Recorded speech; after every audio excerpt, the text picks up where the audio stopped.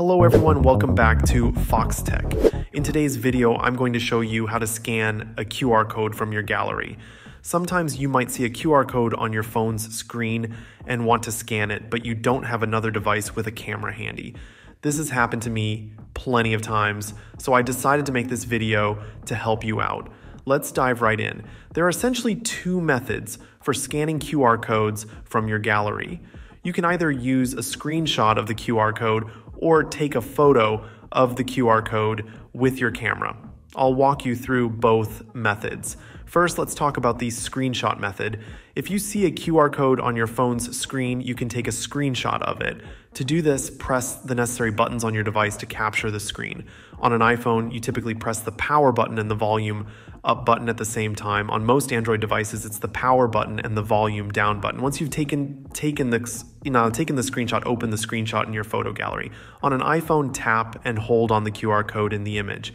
You should see an option like open in Safari or a similar prompt depending on your operating system.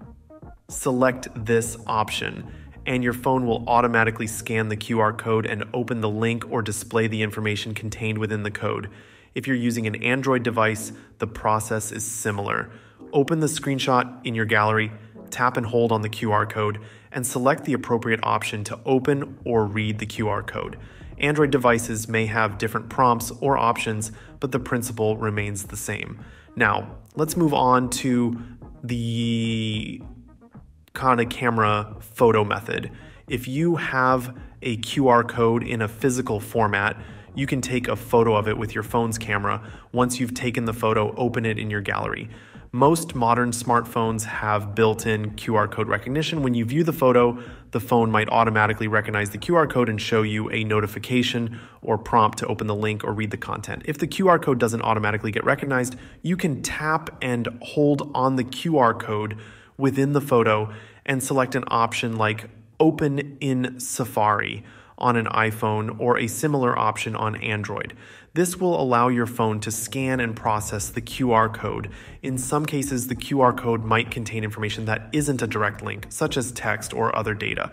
If this happens, there are plenty of online tools available you can use a web browser to search for online QR code reader and upload your QR code image to these sites. They will analyze the QR code and display the hidden information for you. To summarize, whether you're using a screenshot or a photo, scanning QR codes from your gallery is straightforward.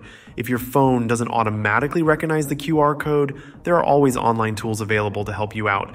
And that's how you scan a QR code from your gallery. If you found this video helpful, please give it a thumbs up and consider subscribing to Foxtecc for more tech tutorials and tips. Thank you for watching. Peace.